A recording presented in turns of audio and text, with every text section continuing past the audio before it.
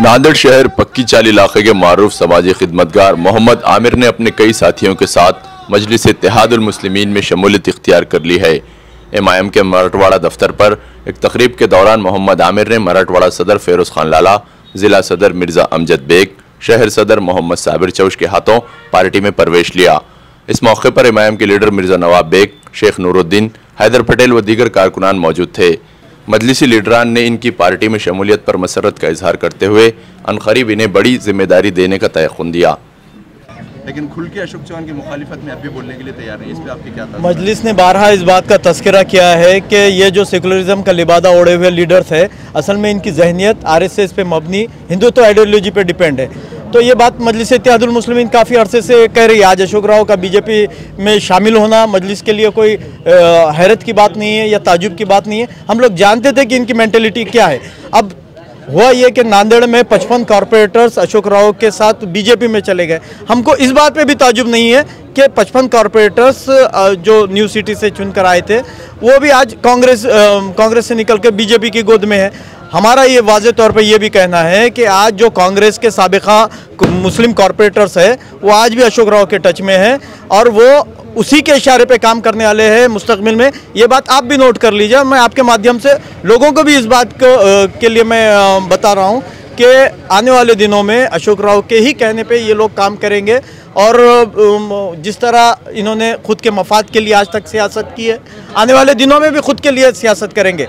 हमने मजलिस इतिहादुल की जानिब से अपील किया है, एक शर्त पे अपील की है कि आप तमाम लोग मजलिस में शामिल हो।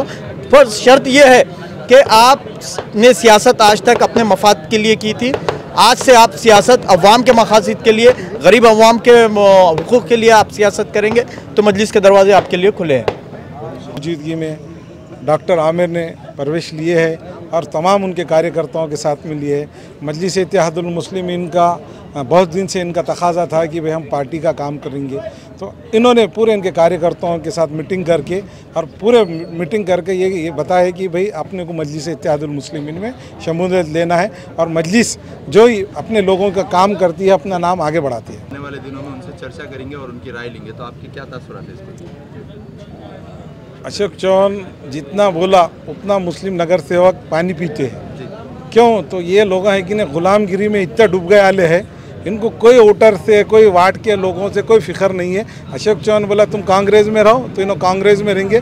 अब अशोक चौहान की बी टीम बोले तो कांग्रेस का गुलाम?